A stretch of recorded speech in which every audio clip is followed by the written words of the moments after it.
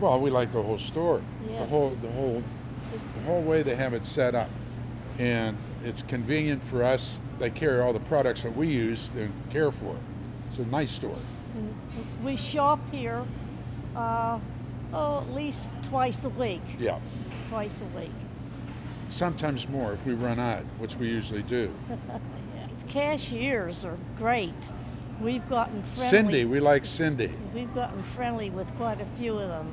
They're very nice. I'm William, I'm Barb. and that's our Giant Eagle Advantage.